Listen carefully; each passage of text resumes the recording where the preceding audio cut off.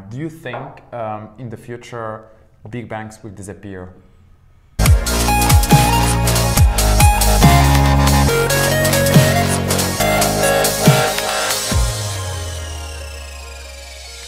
Hello, hola, bonjour, salam, merhaba, namaste, annyeonghaseyo, ohayo gozaimasu in all the world languages. Welcome in a new episode of Technology Innovation. Today we have our awesome guest, Wajih. What's? Nice to have you here. Thank you. Yeah. Thank you for inviting Cool, me. Cool. So Wajih is here today to talk to us about banks. It will get a little bit serious in a while because it's about banks. Um, Sorry, guys. Yeah. So uh, Wajih is a quantitative analyst. He worked for some really big, big, big, big banks. Um, he has been uh, like in the sector for seven years, so he has quite some experience there. Uh, Wajih, maybe you can tell us a little bit more about yourself. Sure, sure. Yeah. First, guys, next time I promise. Yeah. There will be more, much more fun. Okay. Go ahead. Yeah, so about my experience, um, as you mentioned, I'm, I'm working within big banks and I'm working within the investment banking branch. So, just for the audience, as an explanation, um, you've got the, the retail banking, is the banking that everybody knows. This is where you open a bank account, where you can have a mortgage, where you can have a loan conception. And then on the other side, you have the, the investment banking. And the investment banking are targeting clients like big institutions, corporates, other banks, states. So it's not for clients like you and me, Zakaria, or our neighbor. Mm-hmm. It's really special clients. Mm. Depends And- who is your neighbor. Yeah, but still, no, no. Like as an individual, he Okay. won't be he won't be a direct client of an investment banking. It's rather like directly the institution, the corporate itself, Ah, okay. which is really like a client of, of the investment banking. Mm-hmm. And, and within this investment banking, uh, you have uh, the hedging activities. These are the most complex activities. Mm-hmm. They require a lot of talents, um, a lot of technologies. And what they are doing exactly this uh, this hedging department, they they are protecting the corporates or the institution against the risks of the market. Just to give you an example to illustrate that, let's say you're a company like Lufthansa. Uh, your key business and your key activity uh, is to actually uh, make sure that people will fly from point A to point B, and you do it very well.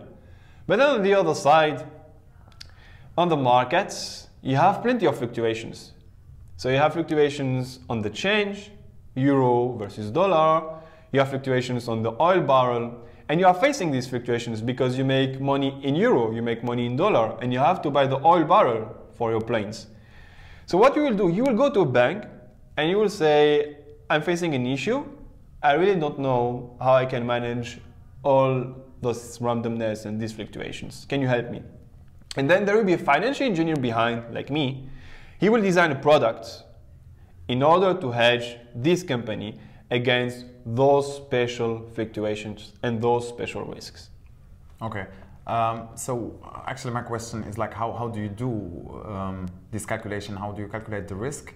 And uh, also coming back to the topic of technology and innovation, what kind of technology do you uh, use to do that? So, so, so actually, these risks are uh, the object of uh, mathematical literature. It's the so-called field of financial mathematics or, or quantitative finance. You have there plenty of books, plenty of articles.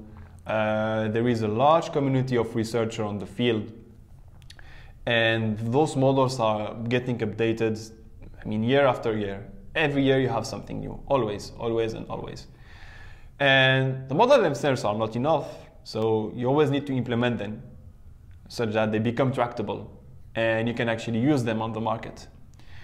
And indeed, yeah, we are using technologies. Myself, I'm using Python, I'm using SQL, and I can use Python and SQL for scientific calculation, but as well for database management, for uh, interfaces, for uh, files, downloading files. It depends. You have plenty of applications within the bank, you have plenty of needs. You always need to adapt yourself to your newest project. Okay. I mean, when you talk about these complex uh, models and stuff, just an idea that popped to my mind.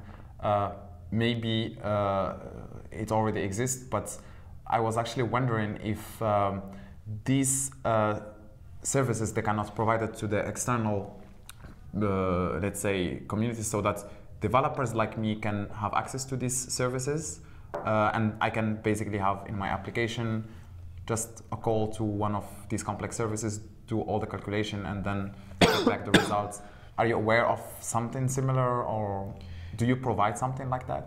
So basically, if there is an open source, uh, I mean, in general, no, you won't have uh, data for those specific cases because those are critical data, very confidential, and are used by the banks for their own businesses. Um, but then you can still have indeed the models online implemented. You can okay. still use the models online implemented. You have uh, libraries which are open source. You can go there, you can contribute to the community. Yes, this is definitely possible. It exists, yeah. Okay, yeah. Um, and let's say um, I'm a techie guy, I have some cool idea, I want to start like online bank, an online bank. Uh, what would be like your, your advice? Really, like, I think you really need to think about the market first. Is there an opportunity? Is it like a virgin market mm-hmm. or is it already a mature market where you have a lot of competitors? You need to think about the services that you will provide. Uh, it's not about only coding, it's really more uh, at the end what are you bringing to the customer? How you will simplify his life. And uh, it's definitely important at the very beginning to focus almost exclusively on those points. Yeah. I would like to challenge you in a last question. Um, it's something that I always had in mind. Do you think um, in the future big banks will disappear? That's a good question. I mean, uh, um, there are people who advocate for that. Um, can big banks disappear? Today, banks, big banks are extremely needed for the economy. They are indispensable. Can we move to a model in the future where they are not there anymore? Yeah, everything is possible. Okay. It didn't exist before. I mean, those big bands with this amount of power, it didn't exist before. So there is always a room indeed for big bang not existing anymore. But I still see them and see the, the value that they are providing as helpful for the world economy. So if they will disappear, others will come and will substitute that. Okay, yeah, cool. Um,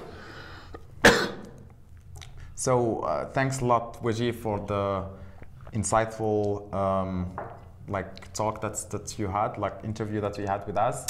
Uh, Thank you for invitation. Yeah, guys, okay? if you have like any uh, questions, just feel free to comment here. Don't forget to subscribe and. Uh, there will be like other follow-ups talking about banks, getting more into the details of how a bank works and trying to inspire you guys to find cool ideas to do in, in that in that field. Thanks a lot, Wajih. Thank, Thank you, you very Zach. much. Thank you, yeah, man. Yeah. yeah. Uh, next time we talk about a funny topic. Food. Yeah. Next time we talk about food.